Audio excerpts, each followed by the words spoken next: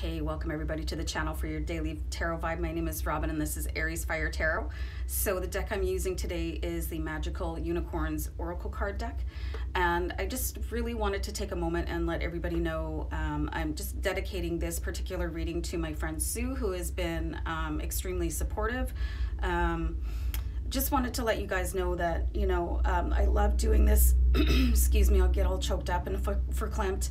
I, you know, I love doing all the readings and everything, but sometimes it's absolutely exhausting. Um, and I kind of, you know, I have those down days where I wonder if I should continue to go on. And Sue came across the other day, I think she had some em empathic vibration that I was having one of those moments like, should I throw in the towel? Like, why am I even doing this? You know, I was really doubting um, my purpose. And like, she just sent me an email and checked on me. And um, I don't want to cry. And it just, it really meant the world to me. And she let me know that she actually went and bought this deck um, because she sees me using it frequently. So, Sue, thank you so much for your continued support and everybody else for your support. So you guys mean the world to me and just wanted to send love and many blessings. And we'll get into the card before I make a fool of myself. So the card I pulled for today is one step at a time.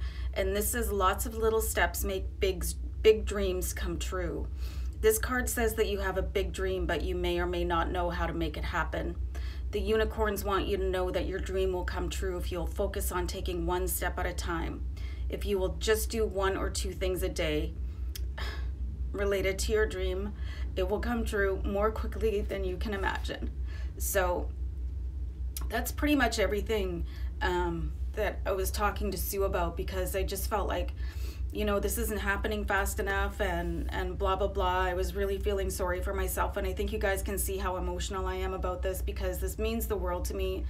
Um, and just and this is great advice for me too not just you guys you know um, just to take off small bites and keep on going. And if it's your passion you know you've already succeeded at it. So just keep on taking those little steps guys and i think i'm okay to continue reading you can take small steps to complete your project. For example, if you need to write a report or clean a room, you can focus on one page or one corner of the job at a time.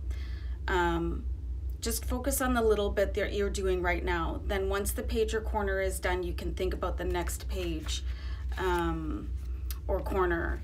You can even plan how many pages or corners you'll complete on a calendar to help you plan ahead.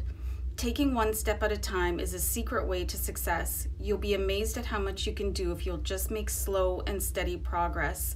Um, and because I'm an Aries, I want everything yesterday, so I think that's part of my problem. Take a moment and think about your project or dream. Imagine that it's already completed and notice how you feel in your body and your heart. Then ask your angels, what steps should I take right now to make this happen? Notice any thoughts, feelings, words, or pictures that come to you. If you receive a strong message to take action in a positive way, then do so. Remember that every big job or dream can happen if you'll just break it down into small steps and then take them. So, great advice for everybody. Um, a particularly resonant card for me, um, you know, because I was really sulky so anyway, guys, I hope you enjoyed this card. And I just want you to know that like all your comments and your likes and shares and subscribes, it really does mean the world to me. Um, I really want to know that um, the, the effort that I'm putting in is really helping you guys, you know, and and the recognition really helps me too because um, I'm just a person, you know, sitting in their home trying to make a difference. So I'm going to start blubbing. So I just wanted to send so much love and blessings to you guys. And Sue, thanks again for your continued support and friendship. Okay, bye, guys. Bye.